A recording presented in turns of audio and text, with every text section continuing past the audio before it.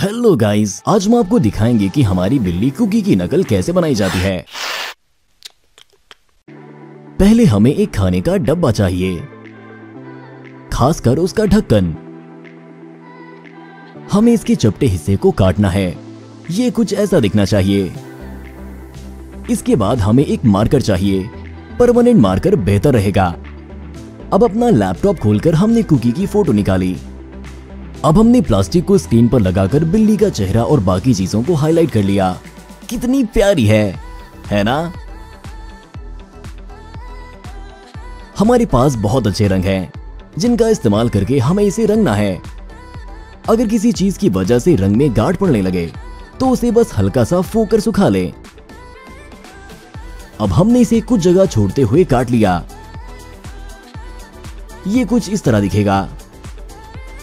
फिर अवन को 150 degree Celsius पे सेट कर दिया। और इसमें पार्चमेंट पेपर भी रख दिया। अब अवन गर्म हो गया तो हमने अपनी चीज़ उसमें रख दी और जादू होते हुए देखने लगे।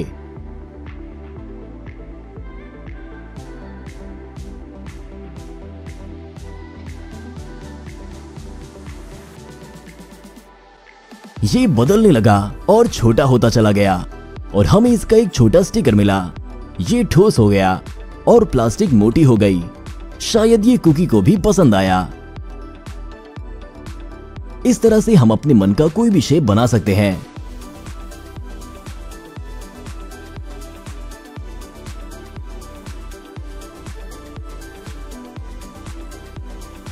अगर ये बराबर ना हो तो अब इसे पार्चमेंट पेपर से बराबर कर सकते हैं।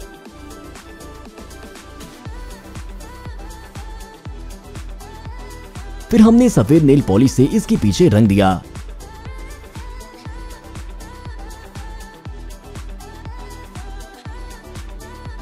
सूखने के बाद हमने एक छेद किया और प्लास से दबाकर एक चल्ला जोड़ दिया।